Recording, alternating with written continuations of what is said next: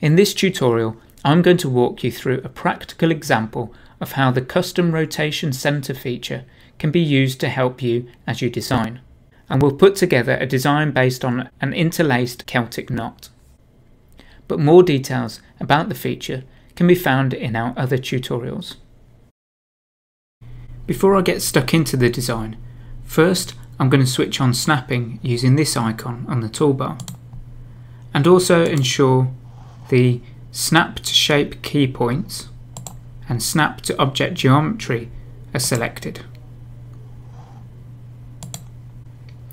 Now using the ellipse tool and holding down the shift key I'm going to create a circle which fills the page. And then on the context toolbar I'm going to switch on the option show rotation center and as you can see the rotation center appears in the middle of our circle. I'll set the fill to 100% black and the stroke to none. This will act as my background, so I'll name the layer background. I'll duplicate the circle using Command J. And then on the Transform tab, I'll set the transform position of the selection's centre.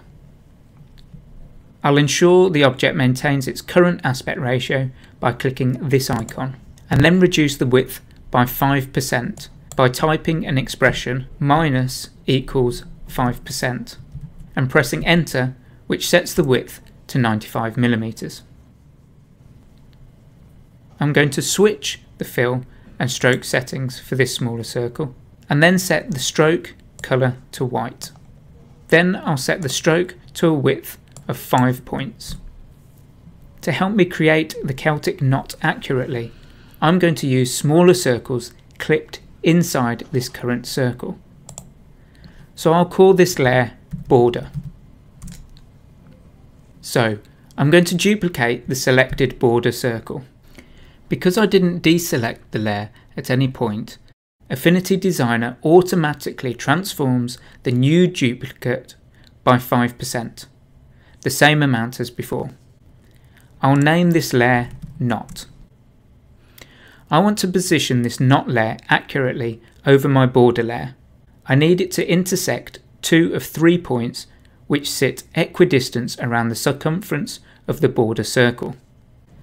To do this, I'm going to select the border layer and temporarily convert it to a pie using this option on the context toolbar. I'm then going to drag this node to here so my border now shows a perfect third of a pie shape. We can confirm this by looking at the total angle on the context toolbar, which shows 120 degrees. I'll switch to the Move tool using V and then select the Knot layer. I'll reposition the top centre of the circle so it snaps to this point on the pie. Now I need to rotate my knot layer so it lines up with this point. I can do that by moving the rotation centre of the layer to here and then rotating it.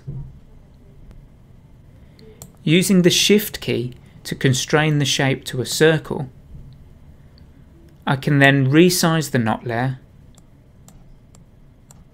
until it snaps to this point on the pie. This is all possible because of the snapping options set here. With the knot layer accurately placed, I can now reset the border layer to a circle. I can do this by selecting the layer and then, on the context toolbar, click Close Pie. The next stage is to replicate the knot circle so our design actually looks like a knot. Now I'm going to reposition the rotation center to the middle of the border layer. However, I'm not going to rotate this layer. Instead, I'm going to duplicate the layer using Command J and then rotate this duplicate using Shift to constrain the angle until the duplicate crosses over at this point. If I use Command J again, another duplicate is created with an additional rotation applied. And I think you can now see the Celtic knot coming together. To hide the parts of the knot layers, which extend beyond the border layer, I can simply select the knot layers and drag them inside the border layer, like so. To create the interlaced effect, I need to create a shadow effect at these three points to simulate the strands overlapping. To do this, expand the border layer and select the top two knot layers and duplicate them. Select the two originals, which now sit underneath the duplicates, holding down Command as you select them, and set their stroke width to 10 points. And the stroke's colour to black.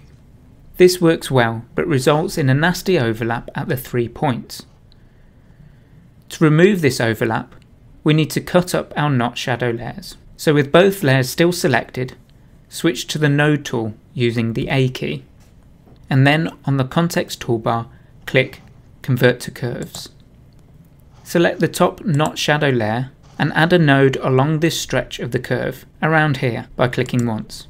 Then, on the context toolbar, select Break Curve. Add another node along this stretch of the curve, around here. Then select Break Curve again you'll notice our circle has now been split into two curves, as you can see on the Layers panel. Select this layer and then click Remove Layer. Repeat this process for this layer.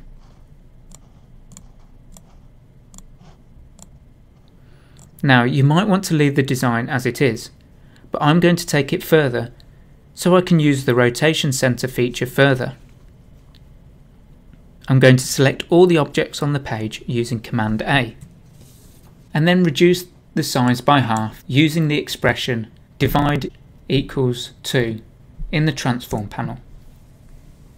I'm then going to enlarge the background layer by 10% using the expression times equals 1.1. Next I will duplicate this shadow knot layer and move it right to the bottom of my document by dragging it in the layers panel. I'm going to spin this curve outwards to make it look like a spike extending from our knot design. So I'll switch to the move tool and reposition the rotation point at the centre of this circle and then rotate it. Then to make it look like a spike I'm going to add a customised pressure to it using the stroke panel like so.